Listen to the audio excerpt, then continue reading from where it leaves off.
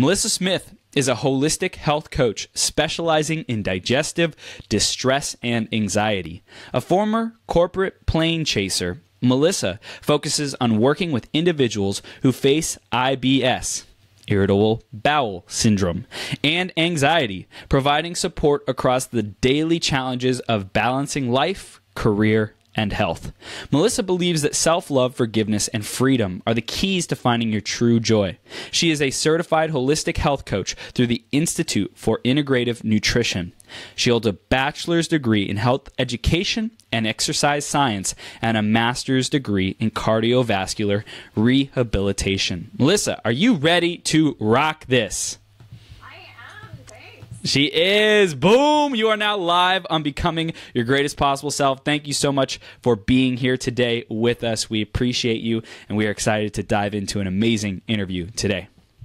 Awesome. I am excited to be here. Yes. Awesome. Awesome. Awesome. So before we go any further, we dive into the question of the day, which is based on the theme of the day, which today is rising from the ashes. So, Melissa, how have you related to this concept of being a phoenix and rising from the ashes? Uh, how have you related to it? How have you brought that to your clients? You know, how does this concept show up for you in your life?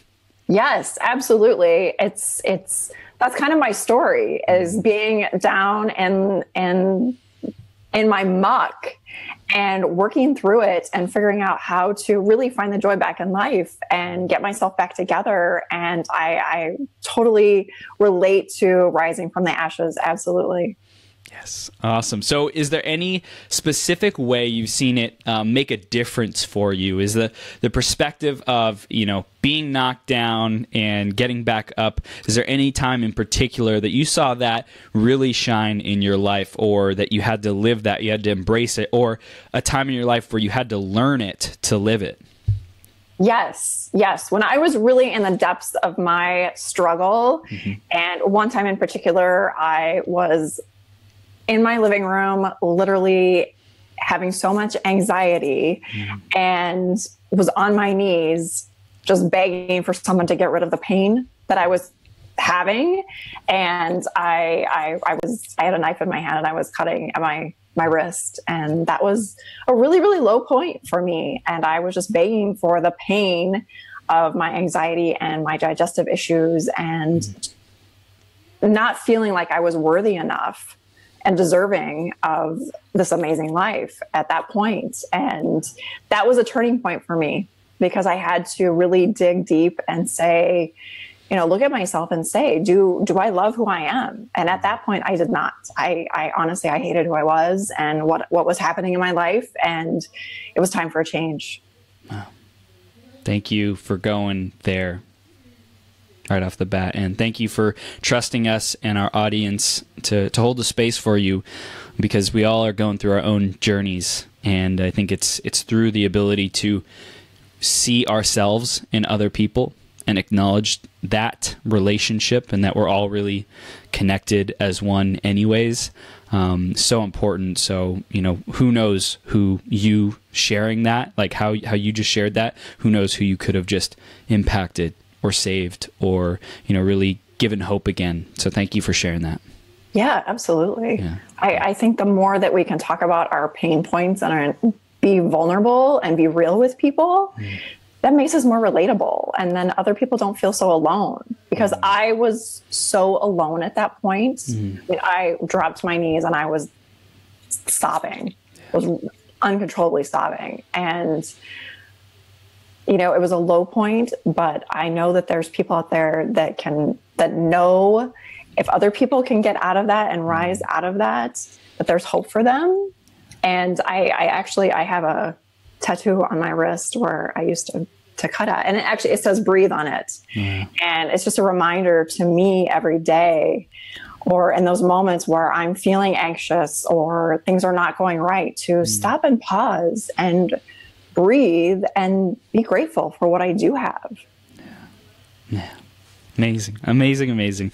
Um, thank you. This is this is just warm and tender and juicy and loving and um, so great just to start off with. So, Melissa, why don't you share with our audience a little bit more about what you're doing today, what you're you're creating in the world, and, and the impact that you're out making in in people's lives. Yes. So I stepped away from corporate America. I was in the medical device industry for over 15 years. Mm-hmm um, in clinical research. So I have a really heavy background in clinical research and the medical device sales. Mm-hmm. And, you know, it, it took a toll on on me. I loved what I did, but it was very stressful. And I have suffered from anxiety since I was a small human being. Mm-hmm and because of a, a, traumatic experience that happened to me. And so I carried all of this shame and this guilt with me. And I continued as I went through my corporate career looking for someone to fill that that void. I was looking for an authority figure to give me approval and validate my reasoning for being there, my reason for having some existence in the world. Yeah. And I, I in turn also developed IBS because of a sickness. And I had the chickenpox when I was like 19ish or something. And I had them down my digestive system and it just wreaked havoc on, on my functioning. And so that combination of that anxiety and my digestive issues, just as I kept climbing the corporate ladder and the stress was just getting more and more challenging. Mm I I couldn't I couldn't function, and I, I honestly have hidden it very very well. Uh, and and I've had people reach out to me, you know, old coworkers reach out to me recently saying I had no idea that you were going through this, mm. and uh, it was an internal battle with your mind of not feeling good enough and not feeling worthy, and on top of it, dealing with all of these stomach issues. So I was you know, bloated, constipated, diarrhea, all of the above, never a happy, happy medium in there. And realizing I was not being true to myself. I was really playing the wallflower game and kind of stepping back and letting everybody else um, have their have their light, have their the light shine on them, and I wasn't taking part in it. And it, it was really stifling. Mm and I kept putting myself into these environments where I I was dimming my own light because I thought that if I shined and I expressed myself, that it was going to take something away from other people. Mm. And, I, and I didn't realize that. But the further I kept going along, these situations kept happening, and I was just more and more challenged and more stressed out and depressed, and I didn't understand what was going on, and I wasn't happy. I was not happy at all. Mm. And I got fired from multiple jobs. I mean, just things just did not work out. Mm. And about five, six years ago, I really took a turn to really understand what was going on. And I, I actually ended up in the ER sick and with mono. I because mean, you were looking many... because you were curious, like what's going on? yes. I mean, how many people, you know, in their 30s get mono? And I'm like, what's happening here? Well, I was I was fried. My body was just completely exhausted. I was at that point of you're in that fight or flight, mm. you know, and usually you come down from it. Mm. Well, I was staying up there and yet I was completely exhausted at the same time. So it's literally like you have pinpricks happening to your body all the time. Mm. You can't sleep. You're an insomniac anything you eat is just like going right through. My brain was foggy. I, you know, it just, I wasn't functioning at the highest level and I was exhausted, exhausted beyond belief. I mean, I was traveling for my job like two, three, sometimes four nights a week, mm. traveling to different cities. And the best sleep that I was getting was on the plane. Mm. I mean, that, that's not normal. That's not a normal life. Mm-mm. And you know, having that two by four and getting stuck in the ER, I, I had to take a spin and do a 360 and really get it together. So I, I actually ended up taking about a year off from work mm-hmm. before I stepped back in. And in that meantime, I, you know, really took charge of my nutrition and what was going on. And I reached out to other practitioners, whether it was naturopaths or acupuncturists, Chinese medicine. I mean, everything. And I just revamped my entire life and health and got myself back together. But it still took a couple more years before I really realized that what I should be doing is helping other women who are having these same challenges. Mm. Because I had stumbled and fumbled around for 20 years of suffering and being in pain and you know finally figured out what worked for me and I didn't take any medication or any crazy supplements or anything out there. I was I was able to figure it out on my own working with all these different people. Mm-hmm. So my programs basically pull all of that experience in and help women navigate that path to feeling better about themselves. And it really starts with self love and self respect because I didn't have that. And it took a lot of work for me to be able to get there. So that that's really what I bring to my clients. Mm.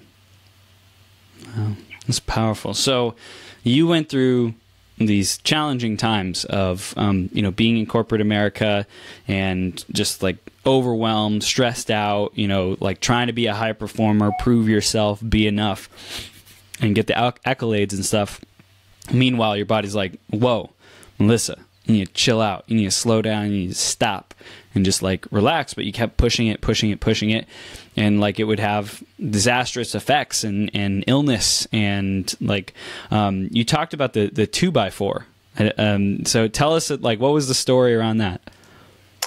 Yeah, it was really, you know, I, it was Labor Day weekend mm-hmm. and it was late at night. It was like nine o'clock at night. And I was like, oh, I think I got the flu or something. Mm-hmm. And I was like, should I call my girlfriend to come and get me? Should I call an ambulance? Oh no, I can drive myself. I'm an independent woman. I can take care of myself. Mm. You know, all of those thoughts. And I, I ended up driving myself, mm. but it was that knowing that I, I really I'd done it to myself. Yeah. Not realizing what was going on, but I was doing it to myself. Mm. And you know, getting that diagnosis and you're just sitting there going, how is this happening? Yeah. I thought I was taking care of myself. I mean, mm. I've, I've got this great corporate career and my mm. life is great. But then in hindsight, I looked at it and my career was everything to me. Like nothing else mattered. I wanted to climb the corporate ladder so bad, like mm. anybody's business. And I was going to do anything and everything I could to make it happen. Mm-hmm at the sacrifice of my own health and well-being. Yeah. When when you got the diagnosis, like what was that like for you? Like what what did you feel? What was the emotional experience that you went through?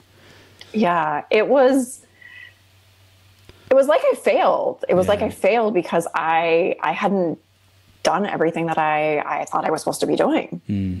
And I was there by myself on top of it. So you just there was this loss, mm. this kind of, a very much of a grieving process because I knew mm. that I had to make a change. And literally, the ER doc was like, You can't go back to work. Mm. And I was like, Okay. and so I ended up literally taking, I think I took like three or four weeks off. Uh-huh. And in that time, I, I, was in bed like 16 hours a day, sleeping. And even the time that I was out of bed, like I could barely function. Hmm. I was so, so beyond exhausted. My adrenals were just shot.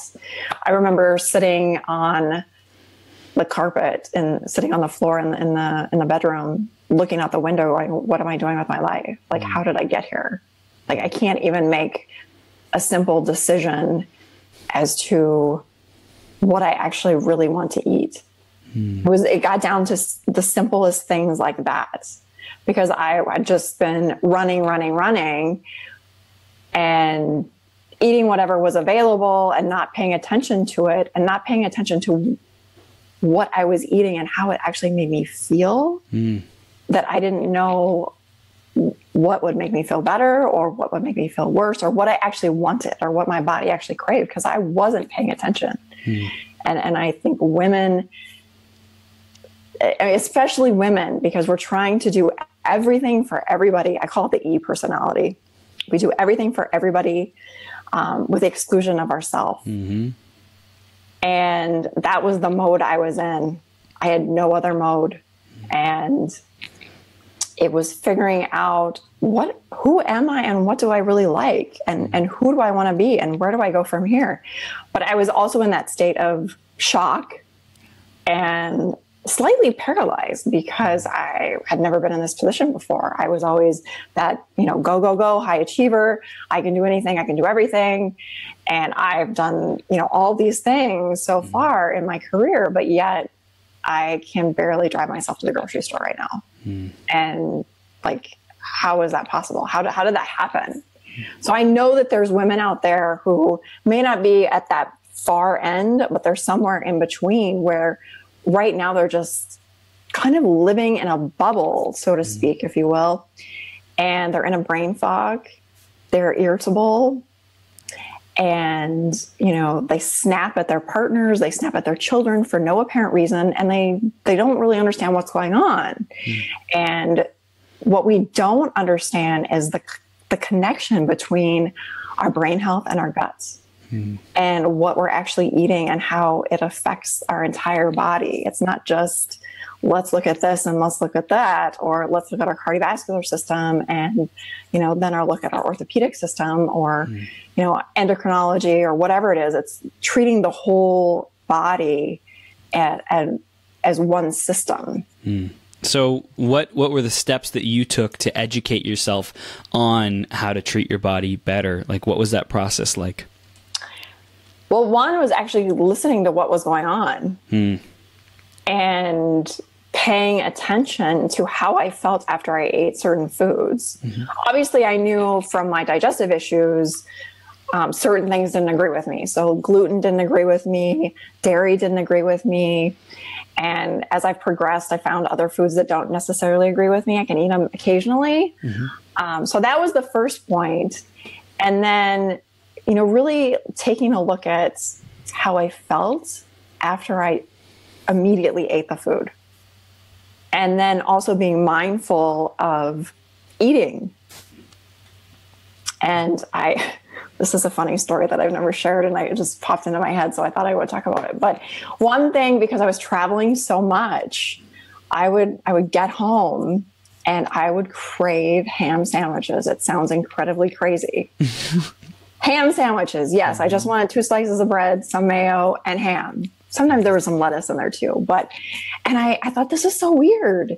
Why do I want this? And then every time I ate the sandwich, I had to sit on the floor. And it sounds incredibly crazy. So I was talking to my my acupuncturist at the time, and I said, "Why am I craving this food like this? This is weird. This, I've never had this experience before." And we got to talking, and we're like, "Well, you're craving the salt, hmm. one, but then it's the ham because pigs are actually low to the ground. So you need the grounding piece of it. Hmm. Yes. Wow. And I was so caught off in this other place and I wasn't recognizing what my body was actually craving. Wow. And it was craving being grounded and being at home and being in that type of an environment rather than up in the air, flying and going to other places. Mm and we, we don't recognize that. So there's just one simple little piece that I, I recognize. So now I'm like, okay, when I feel like I need to sit on the floor or I need to walk around barefoot, mm. I do it. Mm. I'm, cu- I'm curious. Um, is there something in your life, in your childhood, when you're growing up younger, that had you want to be like higher like elevation higher um, you know like did you conquer some fear of heights? Did you were you afraid of heights? Did something about being high up did you have like an activity with someone you loved? Or because like there's something about grounding that your body needed that you hadn't been providing it because you'd probably been overcompensating to be like literally higher up than than normal. Like there was no high enough. Like I need to get higher. I need to climb the corporate ladder. I need to get up in in the sky and travel and be higher. Like so, did anything like that show up for you? Well, I think oof, you're just gonna go right right Let's to the go. start. Let's go. um, I really think that because I I was sexually abused um, from a family member when I was very young. Mm-hmm. And I really think that it stems from that out of body experience mm. and wanting to get away from it. And so you're just looking physically, uh, literally and physically to get out of it. And so you're always going higher, higher, higher. Mm. And then once, you know, I got sick essentially because I was avoiding the pain of, of that situation for so long. I mean, literally decades. And, you know, not paying attention to what was going on in my body because you're housing all of that negative emotion. And like my body was a wreck. I had pain. Like it's, I felt like a 70 year old woman mm. because I had back pain, I had neck pain, I had hip pain, I had all of this pain. And a lot of it was, you know, in that sacral area, mm-hmm. which is, you know, where your sexual reproductive organs are at. And I had so much pain down in that area. I can't even begin to describe it.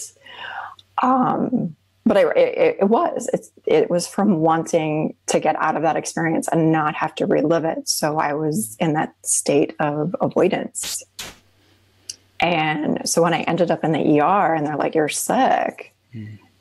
And I'm like, well, you know, what, what does this, what does this look like? I don't understand. And really working with intuitive life coaches and processing everything that was happening. And I also worked with a talk therapy as well. And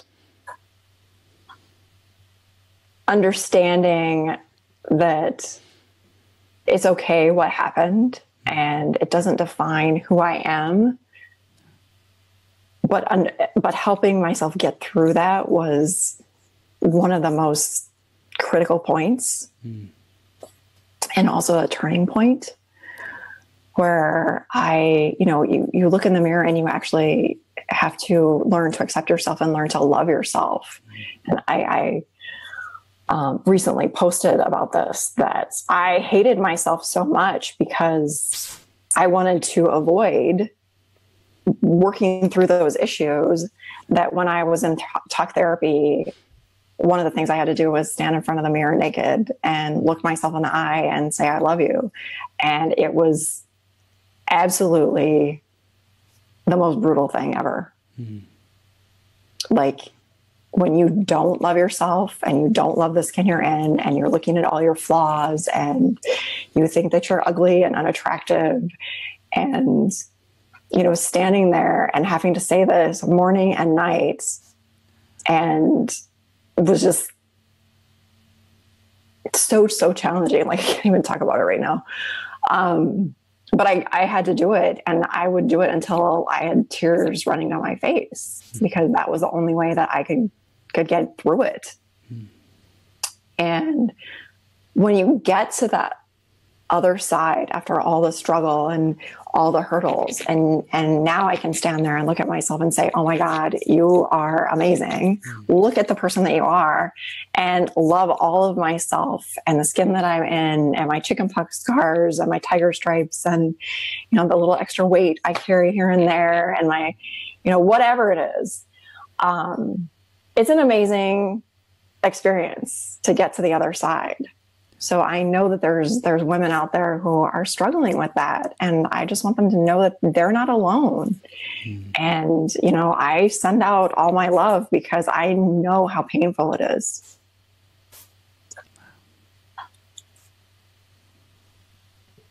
Thank you for sharing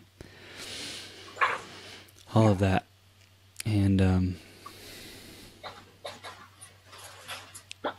I really acknowledge you for um, putting in the work in yourself to be enough to get over that that hump you know and standing in the mirror telling yourself that you love yourself um, just really like your commitment to having an amazing extraordinary life and now you're sharing this with these women who are going through the same thing that's not easy.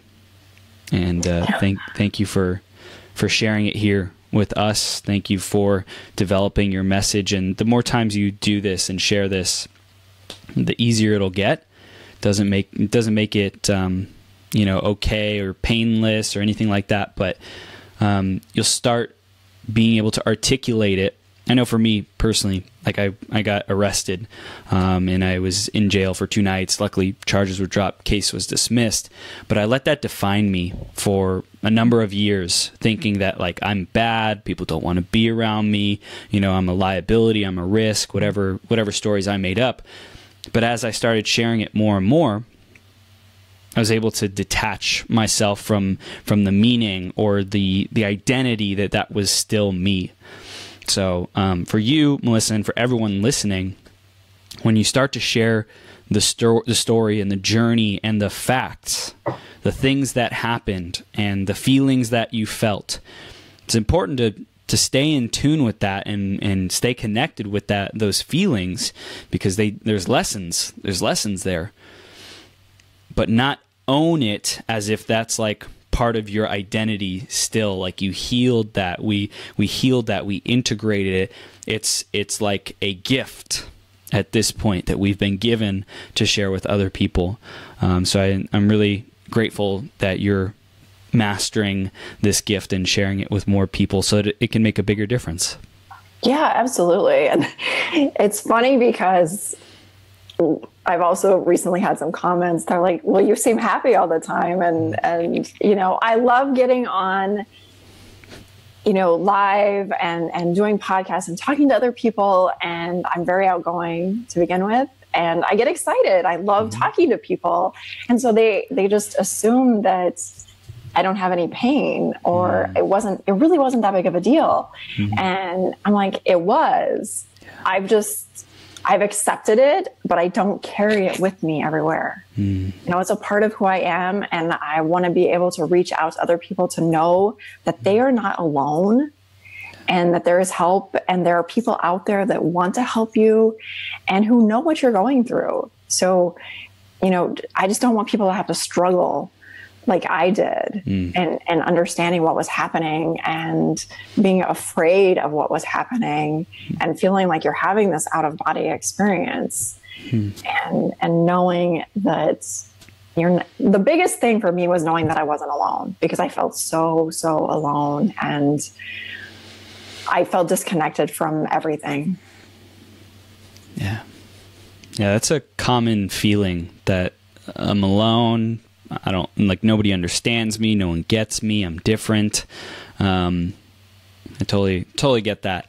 So how are you sharing this message and cultivating your your brand and impacting your clients with this now? Like, what does that look like? And and uh, you know, like, what are you what are you teaching? What are you sharing with with people?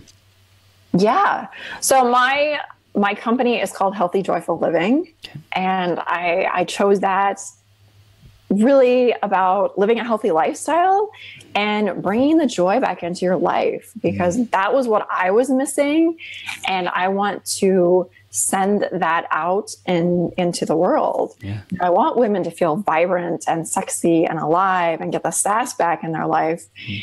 and that re- that really is my message. And also you know really talking about digestive issues and that connection between the brain and and that alone our nutrition is the foundation for everything. Hmm.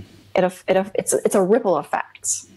And it all comes back to self-love self-respect and knowing that you're enough and you are amazing just as you are. And you know accepting who you are. Hmm and really loving and embracing the skin that you're in. Hmm. What do you find is working best to really empower women to feel that way and show up in that way? And what are some of the challenges that you, um, as a facilitator and coach, have to deal with? Um, and then how do you deal with that? Yeah, great question. I, well, the biggest thing is women getting out of this concept of I need to follow a diet. Hmm. I need to eat these certain things. And it's, it's, I don't like the word diet because, I, I mean, anybody that hears that, I mean, you instantly constrict and you're like, uh, I'm on a diet. Mm. It's not a diet, it's a lifestyle.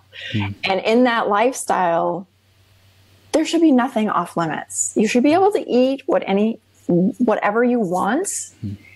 But also know that if there are certain foods that your body does not or does react to, that you can't eat those. But at the same time, if you want a piece of chocolate cake, have a piece of chocolate cake because yep. if you don't, you're just going to crave it and then you're going to have a binge later. And then we've done this whole other cycle that we're going through. Mm. So it's getting over that stigmatism that's around diets. I, I just throw that out.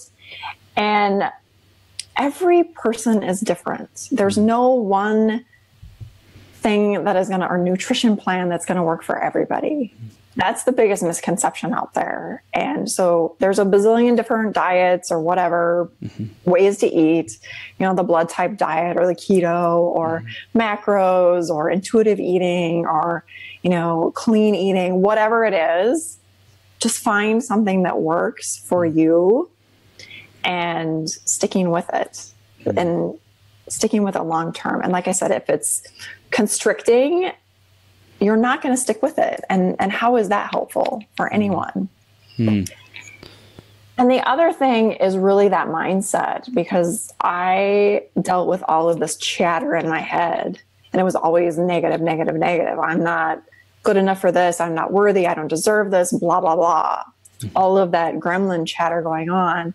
And how did I quiet that down? You know, what is the way the best way to get that to stop. Hmm.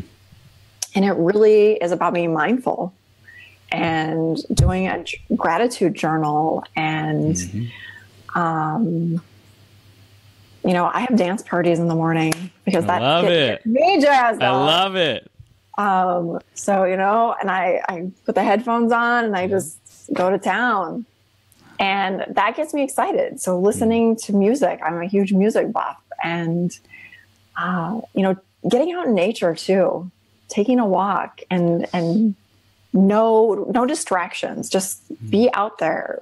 Take your dog out for a walk or be with your kids. Go outside, even if it's in the middle of the day and you've only got ten minutes. Do it because it's going to break out of your pattern of yeah. whatever thoughts are going on, and you're going to be able to look at the situation that was challenging to you in a completely different way, and you're probably going to find a solution to whatever that was yeah. because you're not sitting there in the muck of it. Like, okay, let's get out of it and let's figure out another way to solve it. Mm. So it's really positioning yourself and asking different questions mm. to get the results that, that you want. Love it. And we got Denise in the audience saying, Melissa, you're absolutely right. That's beautiful. Melissa, what's up, CB? What's up, Denise? Love you, Denise. You're awesome, superstar. Um, so, you know, I really think that with the the mindset and these different actions that you can take you know loving yourself dance parties there's lots of different and, and, and even the diet right? Or the the lifestyle not diet the lifestyle choice the the different foods that we get to choose to eat that um, make us feel good that empower us. Um, there's so many different options and uh, so much you know customization depending on each person's lifestyle and, and what they're going through who they are. Um, how do you deal with all the variety? How do you how do you you know create an effective plan or help people like execute on that strategy? There's so much diversity and so many different unique perspectives and lifestyles. Yeah, absolutely. And I the one of the biggest things is keep it simple.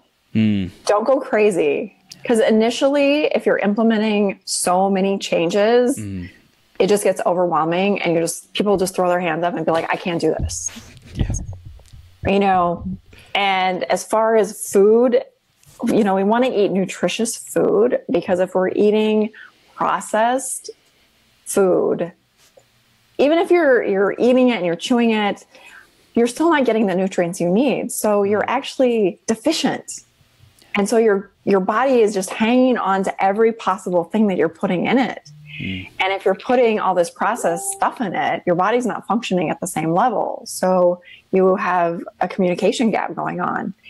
And helping people to understand that you literally are what you eat. What you're eating right now is what your body's going to be in six months. Mm. And separating that, I'm, I'm not saying that all processed food is bad. Mm. I eat it. And if you want to get, you know, nitty gritty on it, and I mean, protein powders are processed. Yep. You know, people don't want to like really talk about that. That's kind of, ooh, let's not talk about that. It is. It's highly processed. Yes. And vitamins that you're getting over the counter mm-hmm. are processed. But we we have to include vitamins and minerals because of the soil is so mm-hmm. depleted of that. We have to include that. And you know, the big controversy between organic and non organic. Well, if you have three options, so I have the processed foods, I have conventional, or I have organic, eat the conventional. Because hmm. your body is going to process that differently than it's going to process the processed hmm.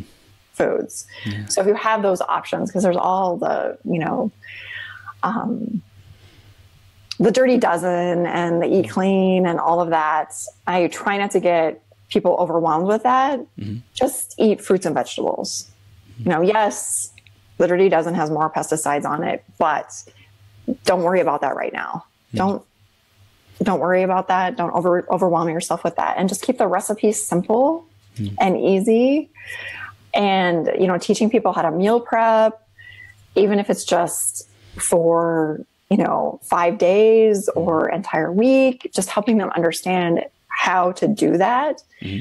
and not reach for that processed stuff and the little, you know, pre-bagged 100 calorie whatever. Don't do that. Just chop up some apples at home, you know? Yep. Um, get get out you know, I think it's what 18 almonds or a quarter cup of almonds is a mm-hmm. serving. Mm-hmm. And and that's nuts are really easy to go overboard on. Yeah. I mean, they taste really good. Yeah. And you know, it's good healthy fat for you too, but portion control is another is another problem that I mean, just in general, people have a challenging time with it. And I do too. I mean, there are times when I'm like, oh, no, man, I want like more, give me more. And sometimes that's okay, but yeah. knowing the limit, balance, at the moderation. same time too. Yes, yeah. and understanding, you know, how sugar affects your body, and you know, alcohol is a sugar too. Yep. And paying attention to that. So just helping people understand that, hmm. and also taking a look at their movements. Like, what types of exercise are they doing?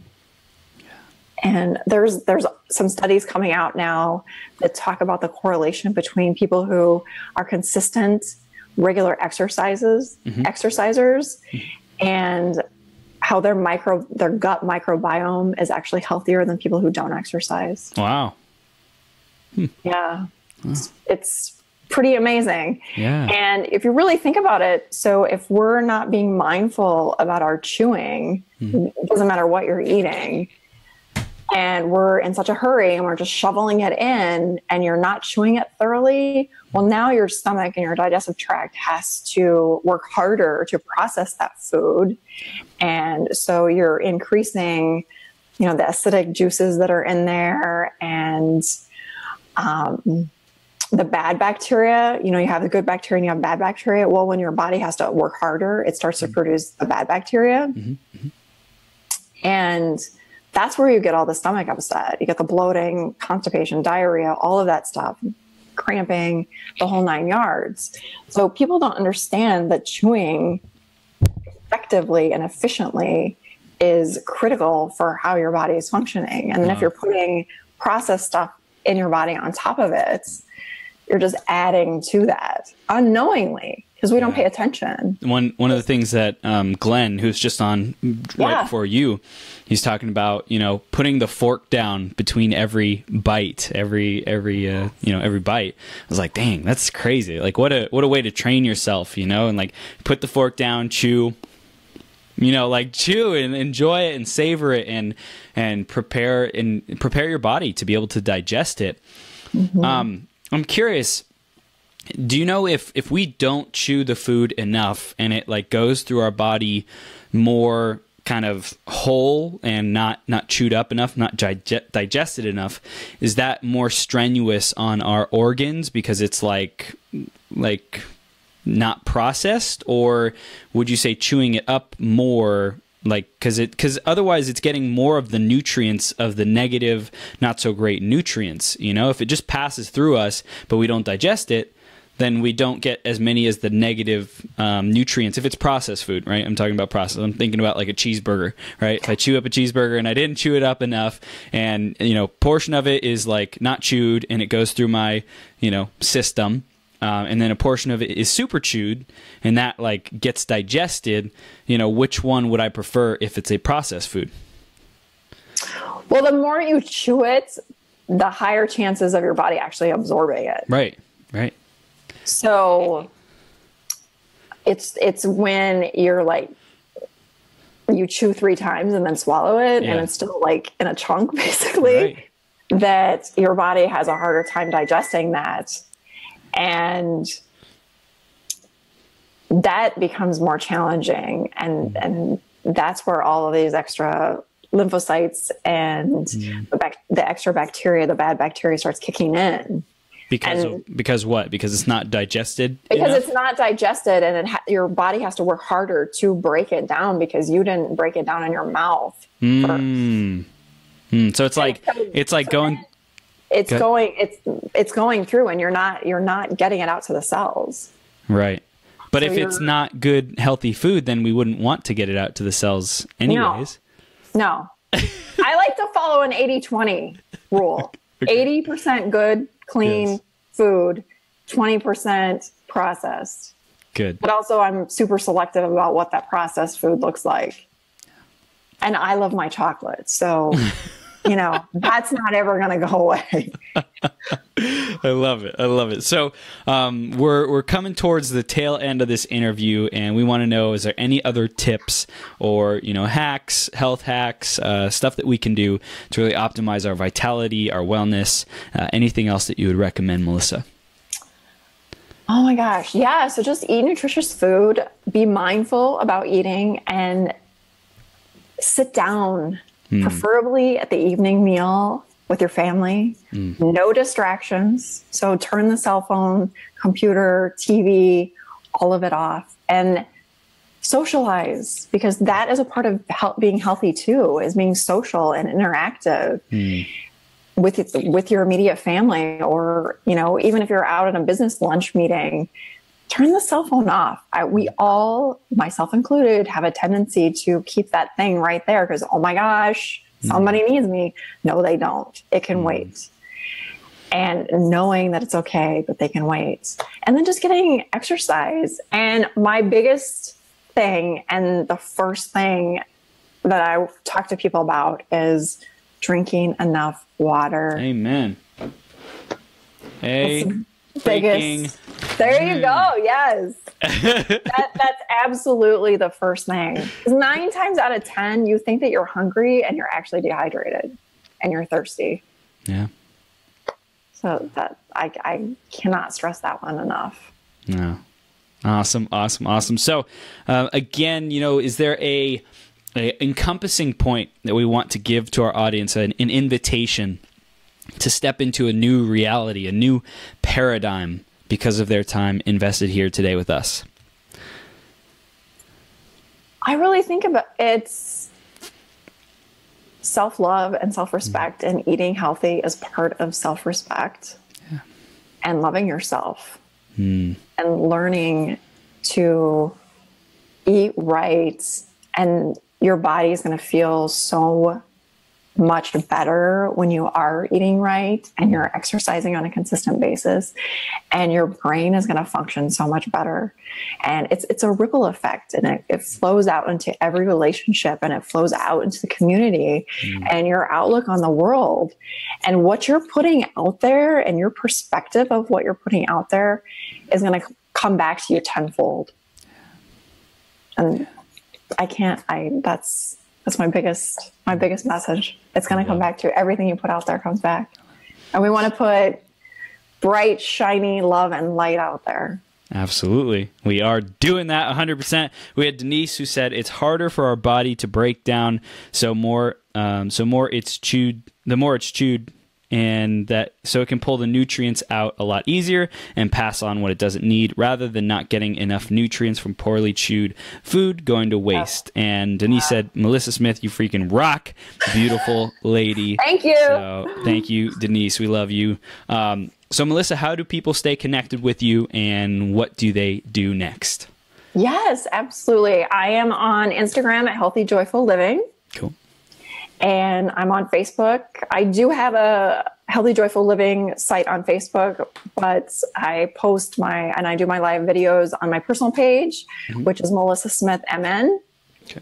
I mean that way. And I am super excited. I haven't even told you this. I got my website up this week. Yes. So I'm really excited about that. Yes. And I have some freebies up there too. So it's healthyjoyfulliving.co. C-O. Okay. That's CO. yes. That's. So please, I'd love to connect with people. Awesome. Awesome. Awesome. Everyone, you heard it. Connect with Melissa. And that's healthy, healthyjoyfulliving.co is her website. Facebook.com forward slash Melissa Smith MN, Mary Nancy. And then the Instagram is Healthy Joyful Living. So, Melissa, thank you so much for coming on today and sharing your story. And I'm so excited about uh, as you move forward and share it with more people and impact more people and, and develop your impact and your message and your reach. And um, just the sky's the limit. You know, you yes. want to talk about you want to talk about like healing that that past and actually giving yourself permission to go to the to the very top you know, in in a in a way that's in integrity, in a way that is is holistic, that's pure, that is divine. Um, you're on that path, so keep taking steps forward because you're a superstar. Thank you so much, Chris, for having me. Love you're it. You're welcome. You're welcome. And we look forward to having you back again soon. And I hope you have the best day ever. Okay.